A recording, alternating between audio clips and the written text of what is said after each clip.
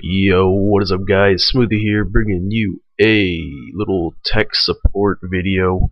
Uh, a few of my friends recently have had to port forward their Xboxes, and I was thinking it'd be a good change of pace for the channel, so I just want to bring a quick uh, commentary or tip or whatever it is, whatever you want to call it, because I know when I had to port forward my Xbox or you, PS3 or whatever you have to port forward, uh, I was pretty damn confused. So I'm gonna help you guys out today. I don't know if any of you guys need to port forward your Xbox, but basically, basically port forwarding. If you have a moderate or uh, close strict NAT type, it's because your Xbox is sharing the IP with your a certain IP with too many devices. So I know at my house, I have we have two laptops, a desktop, an iPad, multiple phones, all connecting to a default IP, and that's what gives you your uh, your moderate NAT type is when you're sharing the IP with too many devices. And basically this is how you're going to change it. So you're going to want to find out your router's default IP uh, this I have a Linksys so you can look online just look up uh, I don't know how many router companies there are but this is just an example. If you have Linksys just look up Linksys default IP and you're gonna get something like this 192.168.1.1 I know for a fact this is Linksys so you're gonna open up your browser click on that uh, and you're gonna get this title page. So basically all you have to do if no one's messed with your password then you should be able to type in admin for the username and admin for the password. Uh, if admin admin does not work, then that means someone has edited your settings, uh, most likely your parents. So you're going to want to talk to them about what the password is and how to get on there. Uh, I really doubt too many people actually changed their passwords because I know for a fact that my parents are not tech savvy, so I don't even think they know this exists, to be completely honest.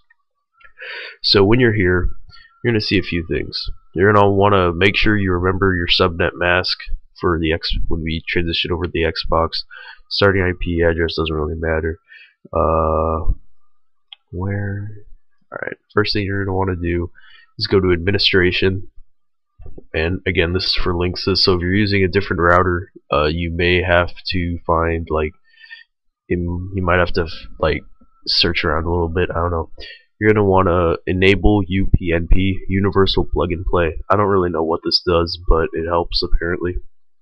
But let's go over to the bread and butter of what you're going to be doing here. The port forwarding. So what you see here is I have four ports. Don't worry about these. I had a friend over one time and we I port forwarded that Xbox too, so these are not enabled as you can see, so don't worry about that. What we're going to be doing here is giving your Xbox a different IP. So as you can see here, the IP is 192.168.1.200 instead of 0.100. 0.100 is the default IP that my laptop uses, my mom's laptop uses, my sister's iPad uses. Everything is connected to that IP, so what I did is give my Xbox 200. And basically what you're going to want to do is just, you can name these whatever you want, it doesn't really matter. Uh, if you have like a PS3 and an Xbox, obviously you're probably going to want to just name these Xbox 1, 2, 3, and so on and so forth. So you have all these, and you're going to want to copy these uh, these port ranges down 80 to 80, 88 to 88, 3074 to 3074, and 53 to 53. And then you're going to want to enable them all. So that pretty much is what is all you have to do on the computer. So, and then you're gonna have to for you're gonna have to save settings right here. Just wait a little bit. Settings are successful, and now we're gonna be transferring over to the Xbox. So I'll see you in a few seconds.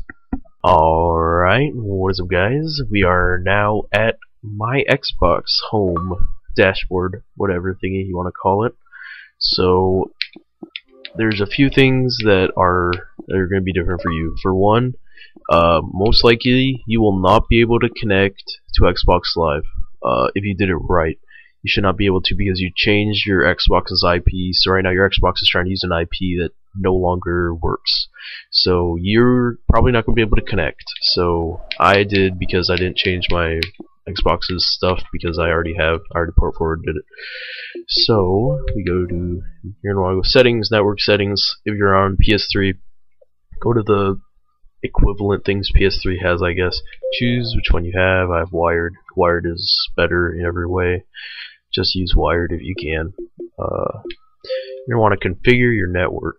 So, as you can see here, my IP settings are on manual because you have to change them manually. So we have the IP that we port forwarded. Port. Oh my God. Port forward dead dead. I cannot say forwarded very well. So I don't know if I did that earlier in the video. If I did, leave a comment because that's pretty funny.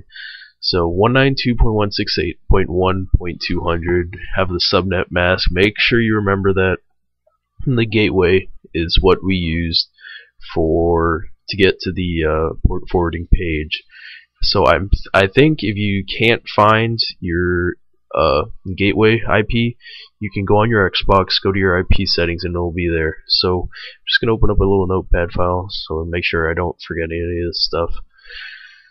I would highly suggest you do too because it's just it takes a little bit of extra time. Chill out, Exynos. It takes a little bit of extra time, but if you fuck up the first time, it will save your ass. I have not port forwarded anything in quite a while, so I just want to make sure I don't fuck up. Alright, so to uh, to kind of simulate what would happen if I was trying to use a default IP is now you can see that I'm no longer connected because I'm using the wrong IP. So configure network. That's the IP I was using, 0.124. Uh, I don't know why it defaulted to that. As you can see, everything else is the same except the IP. So that IP is not port forwarded, which is why I cannot connect. Don't be scared if you can't connect. Uh, I want to go to manual, and it makes you change everything by yourself. You can't keep it like you can't. It doesn't keep the subnet mask even though it's always the same. So you're gonna want to do this 192.1. Just do what any. I mean, the last numbers, by the way, they don't really matter. Uh, it's just that there's less. If your family is tech savvy and actually does this kind of stuff, then it, I would highly recommend choosing a very high IP because there's very little chance that any other devices would share the same IP as 0.200. So now we have to enter this 255. Enter all that.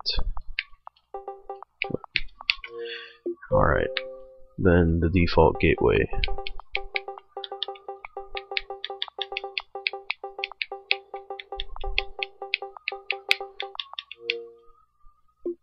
Alright, done.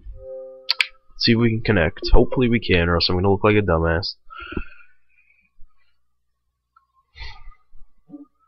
And we are connected. So that's port forwarding in a nutshell right there. Uh, I personally, I like making this video. I thought it was a real nice change of pace. So if you guys want any tech help whatsoever, if you want tutorials on how to do stuff, if you want, you know, I don't know, if it, anything you want, that involves the computer. Uh, I'd like to think I'm at least somewhat educated when it comes to the basics of uh, PCs and stuff. Sorry, I don't have a Mac. I don't like Macs. So if you want a Mac tutorial, that's kind of too bad. Oh my god. Alright, I guess I'm going to join Exynos' party. So if you enjoyed this video, please leave a like. And as always, don't forget to subscribe. Peace.